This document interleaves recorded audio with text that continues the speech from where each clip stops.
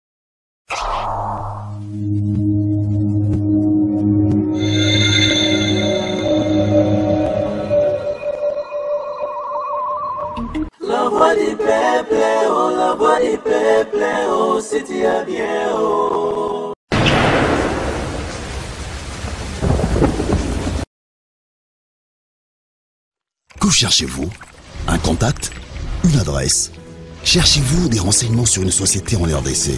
Ne cherchez plus, trouvez.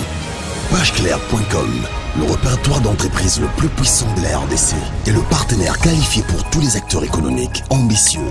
pageclair.com offre un pack complet de services pour seulement 50 dollars le mois, comprenant un mini site web, une campagne SMS mailing, une campagne d'e-mailing, un espace de publicité sur un site visité par 80 000 personnes par mois. Bilingue, facile, rapide, complet. Pour plus d'infos, rendez-vous sur www.pageclair.com slash fac. 081 999 11 22 081 999 11 22 Très heureux ya koyeba ke boza ebele ebele à travers le monde pona kotala émission na bino oyo de news des stars comme le nom l'indique elaka bino ba information ba actualité ya ba star na bino oyo baza ko exercer plus mingi mingi to tambolaka na émission na mbetali culture euh, culture wa tobi ke zara bongo musique chers amis téléspectateurs biso to yebi que euh, notre artiste musicien au nom de Kofi Olomide Agbada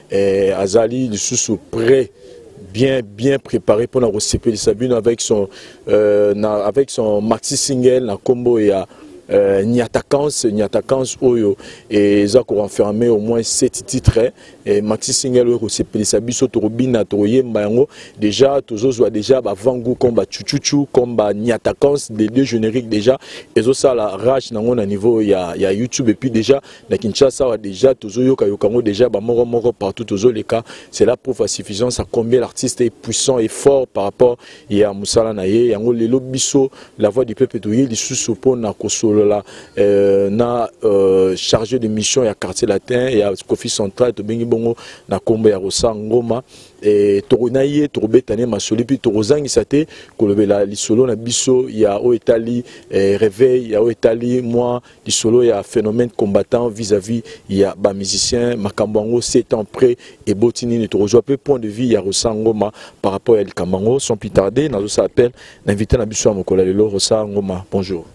bonjour Vincent Chiluzi voilà eh, mbote na ba ba fan tout ya ba ba fanatique nyonso ya quartier latin bazotala biso Bonjour, bonjour, bonjour na bango nyonso. Bonjour na na ye moko le quadra coura le tout puissant musique africaine, le dieu de la rumba africaine. Ye moko le quadra coura. Bonjour na ye place azali na famille na ye nyonso, euh, bana na ye nyonso, Maman Rifa na Londres, Maman mm, Rifa. Maman Rifa na Londres mbote belé ouais. Sœur na ngai Yvette Mbiya na Londres pe na pesi mbote. Mm. Eh, grand frère na ngai Jugement Mampinda na Paris na moi si na ye Mylène. Mm. Na pesi bango pe mbote na bana na bango. Voilà. Na pesi pe mbote na ndeko na ngai Patrick Ferrari. napesi mpe mbote na vie na ngai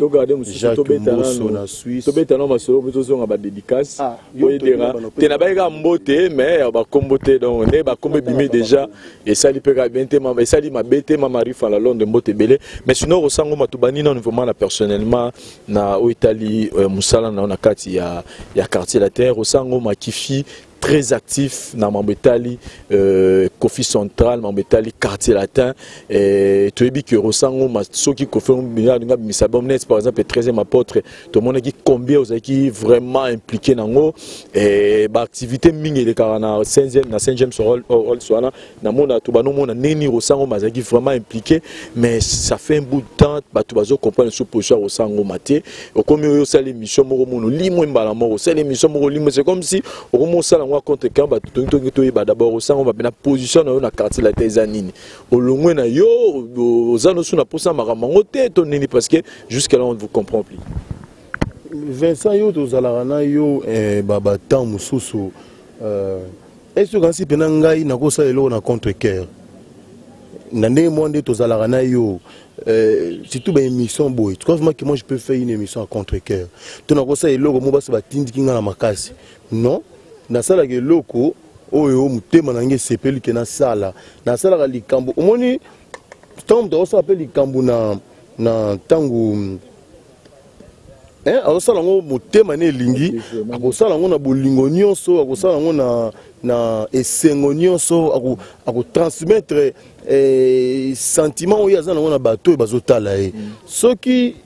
naza dispose te ya kosala émission to soki namoni ke namoni na ngai utilité te nakoya koya koyokisa bato mitema mpasi te nayokisa bato mitema mpasi te donc yo obengi ngai oyebi depuis quand yo obandi ya kobenga mpo tosala émission oyo lelo kutu souvent tosalaka no na saint james mais lelo tosali yango awa parce que eh, ti olandi ngai kote nazalaki basi temaki na tosala lobi lobi lobi ti olandi ngai ti okutela ngai ya poto na ntango nayesaki ke non yaka awa natali aire je me suis dit ke non par rapport à aire mpo koya na yo te j'étais surpris ntango obengi ngai ke non okomi ayo tomoni ngai nalandi okolanda awa omoni donc c'est pour dire que yo mpo ozwa ngai oinsiste mwa mingi nde tosali mais sistance wana eh, ezalaki mpe boye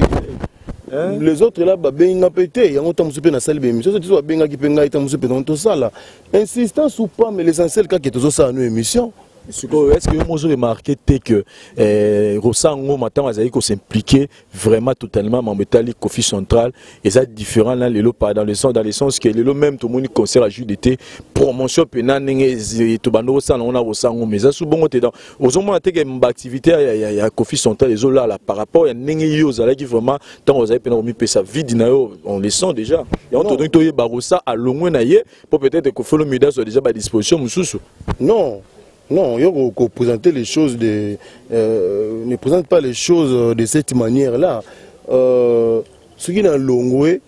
na koloba pe ke na longwe. Na koloba ke na longwe. Omoni euh na koloba nde nini? Euh concert ya jdt utobeta tu sais que depuis un, depuis un bon bout de temps je ne maîtrise vraiment plus euh, euh,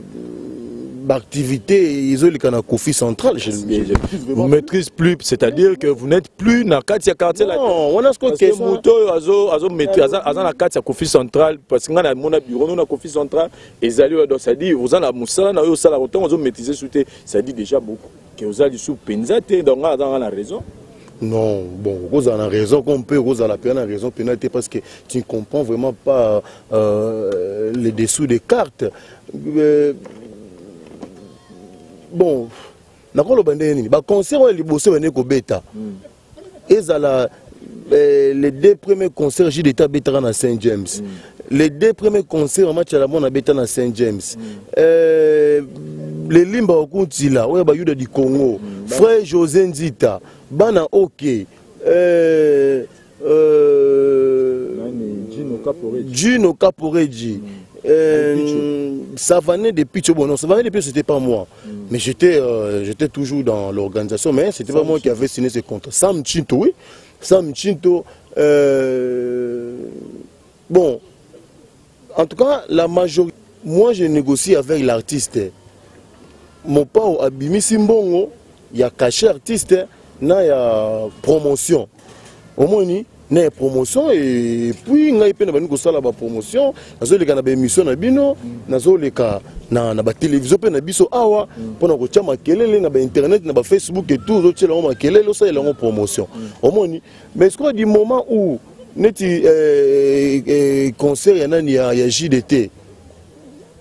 date oyo efalaki ebeta liboso moi je savais que efala beta na date wana après na jour jour au conseil efalaki ebeta c'est comme si j'avais un peu euh, bon présence d'esprit parce que j'avais j'ai invité aussi des gens farabaya bon fana abenga nayebaka même et tout et tout bon nabengaki edi dimoko nde yone koleka te naye kobenga jdt ye moko abino na concert ezalaki ja annulé depuis euh, ya trois jours eh, déjà nanilaki concert parce que eh, promotion ezwi retard donc eza reporte mpona semaine prochaine omoni mais bon omoni mpe mikolo oyo na na, na, na komi mpe mwa actif na rtnc c'est ce qui fait que des fois ntango mosusu nazalazala mwa trop ete na mont fleuri mais cela ne veut pas dire que naza lisusu te ngai oyo oyambi nga awa boye cela ne eh, veut pas dire que oza susu te mais programme ya jdt report na yango yo moto oza membre ya kofi central il faut ozwa suite nango fo oyeba ozwa information ke jdt obeta te fo otuna jdt alors que yo peut-être moto ayaki sensa obenga jdt na téléphone pourquoi yo moto ozalaki parmi les artisans ya baproduction oyo ya liboso mais lelo ozali susu artisan te ya baproduction oyo ekobeta mikolo c'est quoi le problème Nani, Vincent, je ne sais pas qu'est-ce que tu veux me faire dire ici. Non, euh, parce que Oyomo le dit clairement que nazalaki artisan ya baconcert epuis baconcert to otangi wana sans vous flatter eza baconcert oyo baplein esalama baplein rien à dire osala mosala no malamu parce que soki bato osali promotion bato baye ebele et que concert réussir eza, eza, eza réussite mpo na biso mpo na yo mais quelle est la raison qui peut faire qu'aujourd'hui kofi olomide alongoli yo etant que artisan bato mosusu nde bakomi na place wana c'est quoi le problème entre vous et kofi olomide parce que ozolinga oloba te mais euh, quand vous parlez on sent que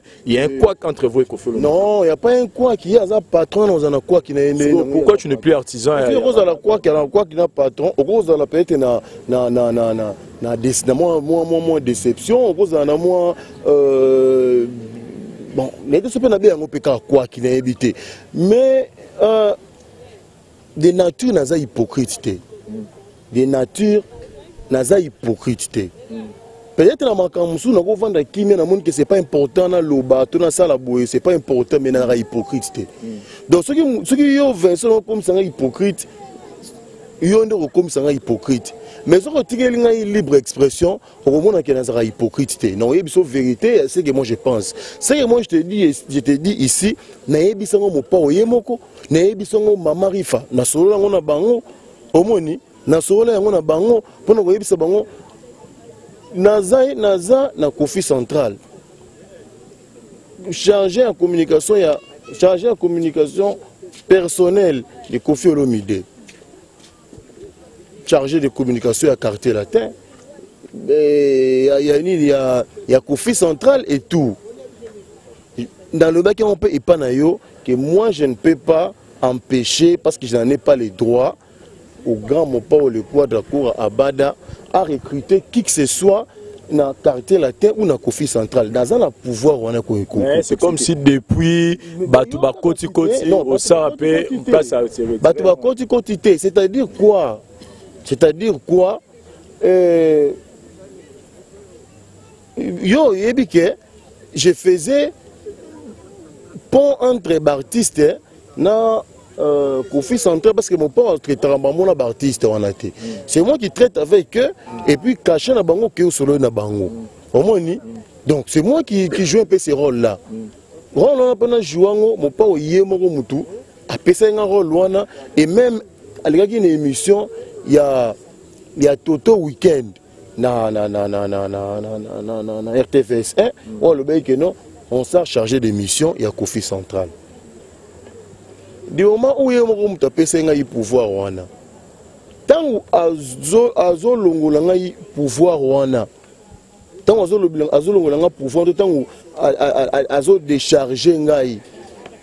na makambo wana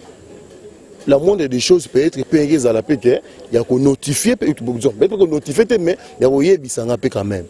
omoni ke non bon omoni euh, vie yo ozosala déjà boye boye boye namoni ke kote oyo ya baproduction oyo to kote ya boye totika euh, motu tel asala yango mpo na boye mpo na boye entre nous soit-il entre nous soit-il okolala tolamuka mbala moko omoni ke tâche moko eyo oyo bandeki koexerce eh, toko moko bandeki kojoue du coup omoni kene ozojoue yango te motu mosusu azojoue yango loin de moi d'être jaloux omoni loin de moi d'être jaloux ke motu mosusu nde akomi kojoue yango mm. ntango moto mosusu akomi kojua yango yo banotifie yo te ngai basignifie yo mpe te ngai eza na baartiste yango mosusu oyo toproduisaki liboso nde bakomi kobeya ngai me ah, ensemble ndenge nango fo nabeta conseil kuna ti me yo ndenge nini te bon ngai nasalaki mwa déplacement moko yango wana omoni ke botraite na motu tel me na ozala po biso tu toza na energie moko te biso tu toza na, na mwa ndenge moko te mopao ndenge aza ndenge moko ayebi ke konsaka il fait un travail il le fait avec amour et puis place ye avandaka amonaka baretombe to baresultat ezongelaka ye omoni ezongelaka ye ke wi eh, en tout cas ça va soki mpe bafai mpe ezali akokorrigera keno kote mpe nasalaki mabe mais kote osava omoni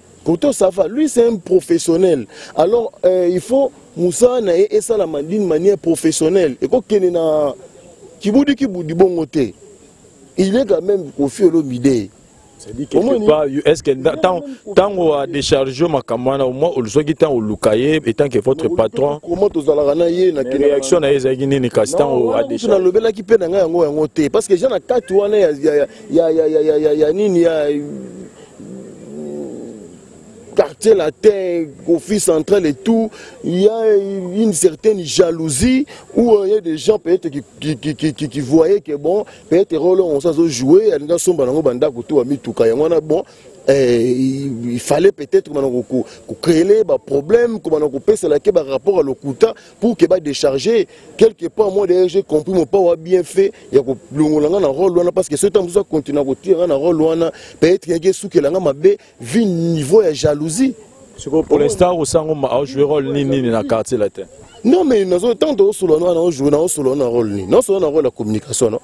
na solo na rôle la communication il y a un problème moi Saint James au moins ouvrir brèche wana au moins mais je suis jour le rôle de la communication ejoue le rôle de la communication eza na babiloko mosusu nakoloba yango na nini na, na, na, na télévision te c'est vrai que moi-même je reconnais qu'il y a des failles na communication lelo il y a des failles bafanatique ya mopao bakomi un peu euh, euh, euh, délaissé bakomi un peu euh, euh, dépayse bazoyeba lisusu te soki ye moko mopao aleki te aloba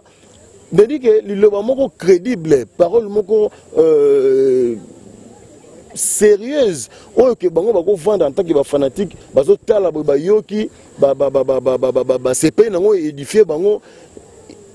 eza lisusu mpenza te omoni eza lisusu mpenza te parce que na moment oyo tozosala promotion ya niatakance ya chuchuchu wana oyo nzembo oyo lelo ezosala mpe rage tokosuka nango na bainternet te toye kosuka nango na baitune te na bayoutube te ifo ebeta na kisasa ifo ebeta na baterrasse ifo ebeta na banganda ifo ebeta na baboite de nuit ifo ebeta na barestaurant ifo ebeta partout e nyonso wana eza stratégie eza communication eza marketing omoni tokoya koprévoilor te ke no bo mopa nga nakoma olobelaka makambo no pour venir nous vendre nous même oyaka na télévision parce que yo moko ofomi teka otie poudre bato bamoni yo ke no ye wana azoleka azolobelaka bakofi et après après parce que moi je le dis toujours bato batalaka biso bato batalaka biso vincent baoyo bayebi ke batindelaka nga bambongo na bango babengaka ata mopao bazala na telefone na ye bayebisa ye ke no kwada nga atindelaki petino wana otan tuna tindaki mpe tuna wana otan baza na bango te oyo tobwaka bwakana batindaka na bango mpe eloko te batindaka na bango te mais eza kaka générosité wana eza kaka euh, euh, gentillesse wana peut-être ke akomelaki yo ke en tout cas nasepelaki na émission osalaki mais kote oyo namonaki ifale okende yango bongo te ah, en tout cas félicitation na émission osalaki ah. ya phénomène combattant moke na yo parce que ozali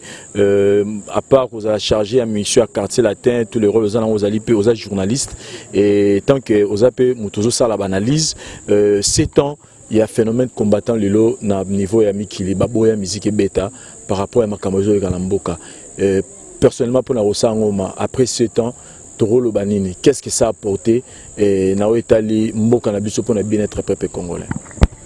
non bon mpona mpona sujet oyo tokoki koconclure oyo bato batali biso ba badéduire te botire baconclusion te oyo ngai na te donc ya rien ya rien euh, je suis toujours avec le quadra cour à l'écran mon pao je suis toujours avec lui je vais me battre pour faire la promotion de niatakan c'est d'ailleurs kutu chuchuchu nazoya koyoka yango nzela nzela donc bato boyoka yango boyoka euh, générique oyo nano esalama na lolenge wana te vraiment esalami mpena na lolenge ya babosse c'est-à-dire ozobina ozotoka te ata ozobina nango na nganda ata ozobina place ya, ya, ya moi okotoka te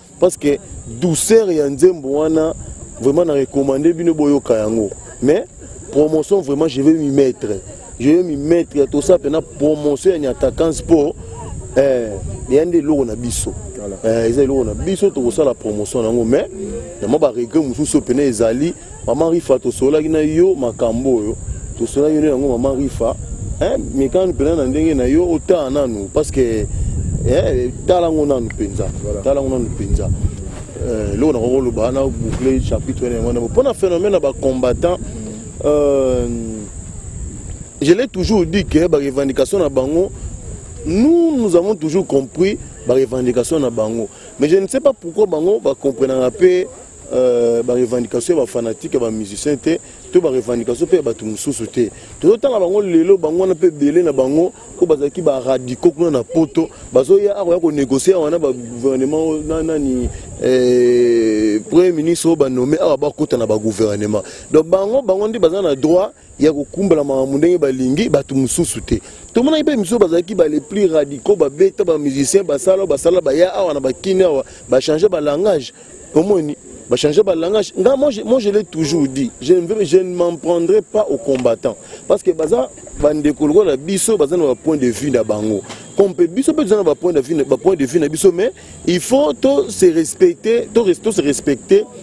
euh, mutuellement autant to respecter ya bango autant bango mpe ba respecter mpe ba point de vue na biso moi je pense que ça ne sert à rien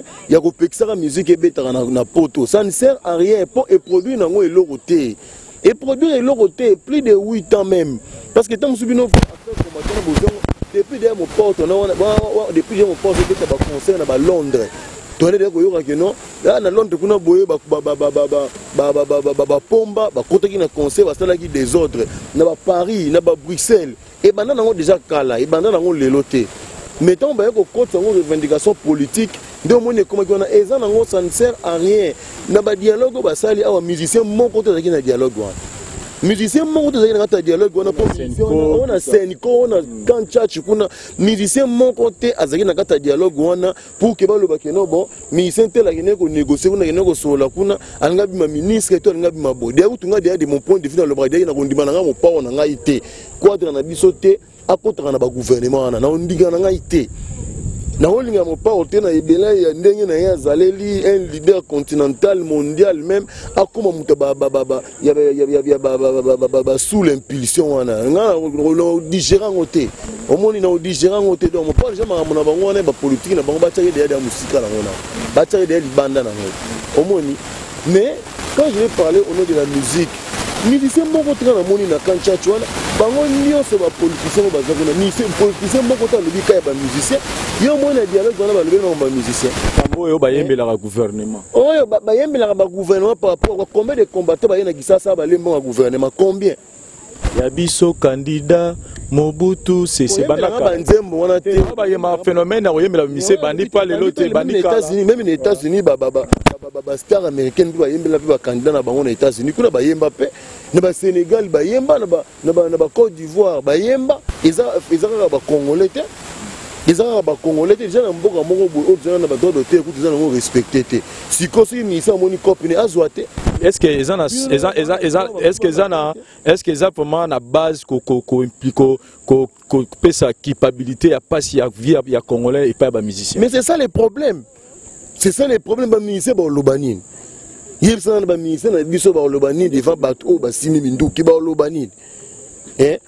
bino mo bovandi kuna bozobanga botindaka nde bato mosusu nde balobaka bino bovandika liboso bainternet bozelaka bato basalaka bamarche bakufaka batindaka bino bafoto bino bopartageaka boya kasi bino moko awa te boya mpena kwa bino boza elobaki nango ata mopao bino boza na solution ya mboka yango ndenge efo echange boya kopesa solution boya kopesa solution ndenge ezalaka na mosika motu biso tu toza na mposa toliaka bien tolamukaka bien tovivaka bien tokendaka misala bafutaka biso bien régulièrement e tosengaka sengaka bandeko baza na poto te tu vois toza na besoin ya bongo biso tout toza na sikoyo mpo tokóma bongo ifo tosala ndenge nini soki bango baa na formule magique baya nango Et le problème encore, une sous bat bat bat benga inga bat bisan bat bilelo et bat bat qui bat boy musique na poto. Mais lelo tozo ka bat bat les anciens des quartiers na te bat beta à chaque dimanche et non qui paye ya wenge paye bimi et melia lempela Didier Massé la bat beta bon. Ça dit on a peu combien juste. Ils en ont jalousie, l'injustice c'est de la jalousie pure et simple. ozo comprendre eyano eza makambo mboka ekomi baranima personne jalousie eza nango jalousie sikoyo baboya mpe basombaka mpe basede te ngai nalobaka meilleure façon de faire bino bozovanda na bapays développé bozovanda na bapays civilisé comportez-vous en, en, en, en homme civilisé ou en femme civilisée botika musicien nyonso olinga kobeta musicien na poto eh, botika ye abeta briller par votre absence omoni boya na bino te fali abeta bafali abeta mpe na zénith boke na bino te fali aye mpena boye na zénith atali mpena keno e eh, zénith yango nakoti na kaka 50 personnes gamo mpo oke kobeta na bercy to na stade de france akoti boye 200 personnes 1000 personnes kaka baye afanda te mama nga mpena kofi ono milio na baplaine nasalaka nabeti kaka 1000 personnes na place ekokotisa 60 70 000 personnes nga nakotisi kaka 1000 personnes omoni peut-être kointerpelle bamusicien bango mpe bakofanda mpe na kwana bango bakoma koluka tokosala ndenge nini pour ke miziki na biso ezonga normal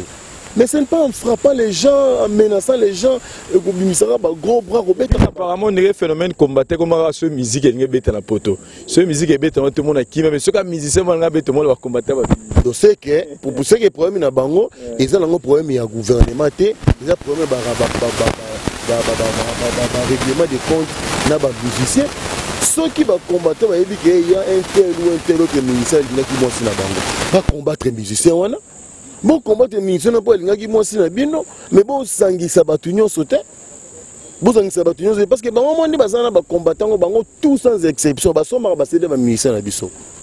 Babina yango na ba fête. Babina yango na ba fête. Na ba ndako na ba bête. Omoni basalaka ba fête na bango te ke bazui ba ba ba ba ba journaux to ba ba bazui nini eh, balivre batieti wana batia kaka miziki bango moko bona ah biso bena mopao mpena ah nyata kasi mpena ezobeta mopao mpena nona mopao aza fin entuka mpe toyoki cucucu wana vrima mopao aza fin kaka bakombata yango mais ntango ekomaki yango bakende kobeta balingi lisusu te Je comprends pas cette contradiction. Voilà, sinon, euh, dans le Tozo Salango, dans le beat Kayako, pèse à moi, moi, esprit de, de, de, de, de réveil, na bandeko na biso mpona kofaire voir que eh, bajoueur mpe lia bakenda kobeta bakenda kobeta bakane basengaka mbongo na gouvernement donc kolia mbongo ya gouvernement mpo na musicien mpe eza mabe te problème ya congo biso nyonso yebi esika ebandi musicien te motu aza la base na yango donc totika bamusicien basala mosala bango librement eza mpe une façon ya koteka mpe culture ya mboka na biso eh, congolais oyo ase sentir oyo loba pe na bandeko biso ba combattant hmm. bandeko na nga ba combattant bo eh bo bozo ko bela mabe te hmm. bozo ko mabe te bomoi na kina wako so boleki na ba bar ba ba, ba venir presque tout beaucoup tara ba bar partout musique ezo beta quelque part nga na ko pesa bango raison dans le sens que peut-être balingi ba sécher un peu euh, nini Euh, nakoloba ngo ndenge nini cedi balingi neti ke neti tokɔta neti na esprit moko neti ya matanga neti na esprit moko keno ke na congo makele ya lisusu te ekoti mpola ville morte ke eloko moko ezolingana lisusu te mais kaka awa na kini yango oyoyo parce que bino boza na poto bozobundela biso moto na kati ya mboka awa biso bato yango bozobundela to na kati ya mboka so botamboli kobanda na aéroport mm. so obandi kaka na aéroport mm. ti na gare centrale bokutaka le long bokutaka babar babar babar miziki ebeta so boko mokota baveni kuna bokoti balemba bokoti bamatonge miziki ezobeta partout miziki ezobeta partout biso toza mosika te na kasai central place bazoboma bandeko na biso na bakamwe na sampu kuna mm. mais soki okenda na kasai yango wana okokita mosusu na bakananga okuta mpe miziki ebeta bosikoyo baninga baza na poto na bastress oyo ezalaka na poto wana ke motu asali pendant toute la semaine alobi bon week-end boye akende kose destresse un peu boempeshe bango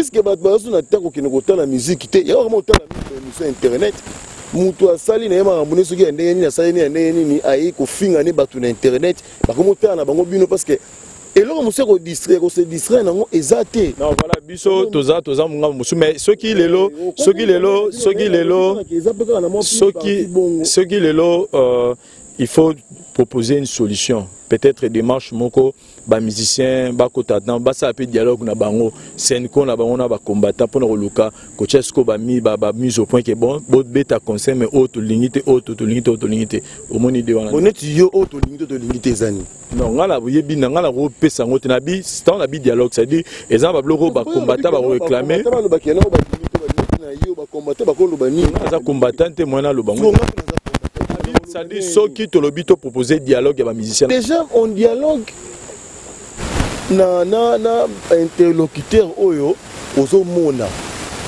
omoni parce que au fait bango eza lokola montre ya à plusieurs têtes toyebaki barex kaza libakomba te tomoni reakoma ayaki awa boye tokompea position rex lelo tomona babi balukuna lelo tomoni ake kotika badossier epai ya brino cibala tomoni ebele bazoya misusu bazoleka na batelevision te sikoyo okende osola na komba to wapi mpo toyebaki boketshu toyebaki bon peut-être boketshu peut-être boketshu oyo oyeni atikali na bagabin babin peut-être bango nde batikali nani baradicaux mais bababi balukuna mpe bazalaki baradicaux banani barex kaza depuis bazalaki baradicaux yo moto omonaki mama tiala mona ndenge aprotestaki ntango amonaki rex awa bon okesola na banani mpo ezalaka tozobunda na par exemple ngai ekipe na ngai na ekipe na yo vincent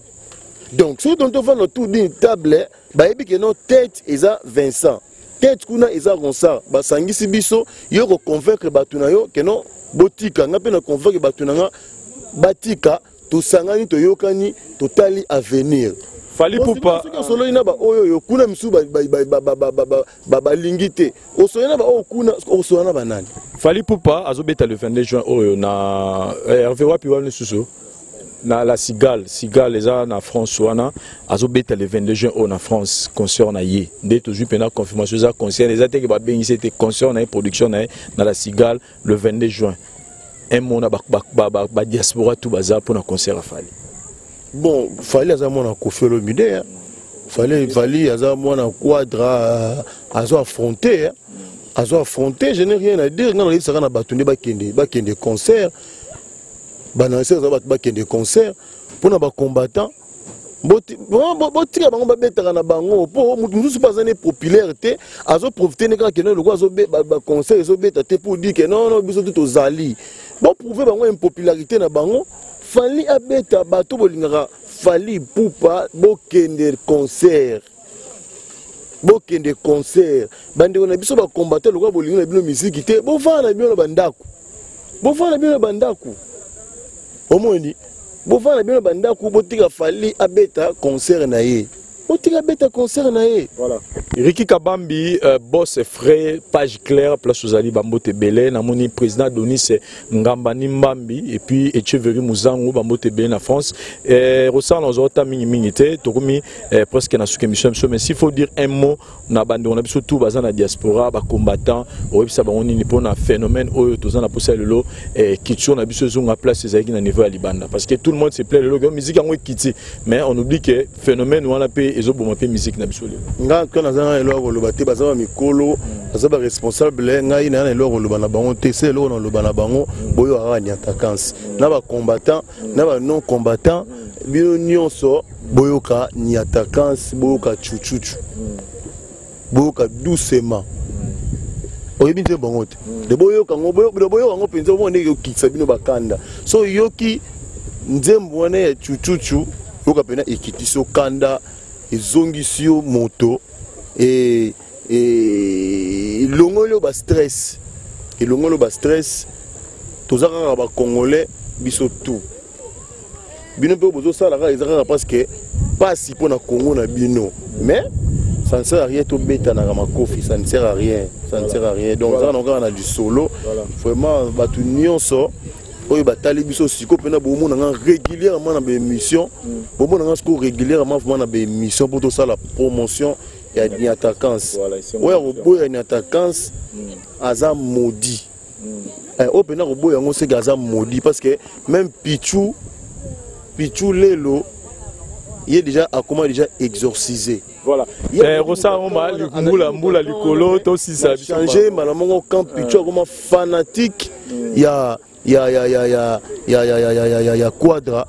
surtout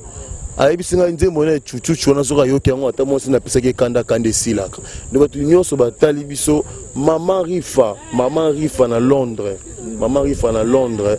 eh, napesi ye mbote epai azali na sere na ngai ivete mbiya yeko na ngai jugement mampinda na mwasi na ye milene eh, vie na ngai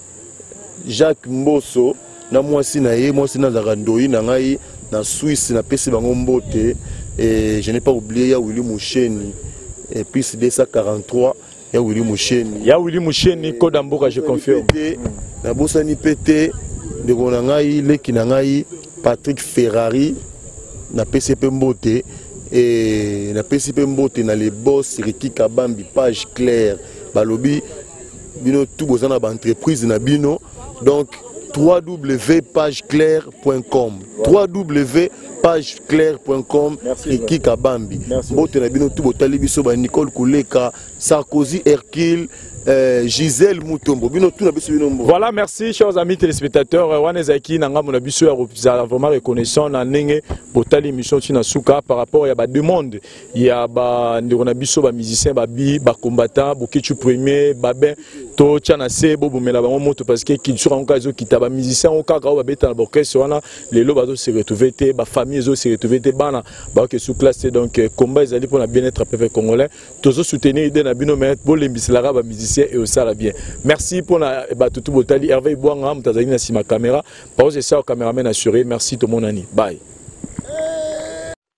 Que cherchez-vous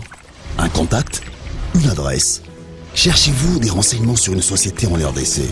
Ne cherchez plus, trouvez.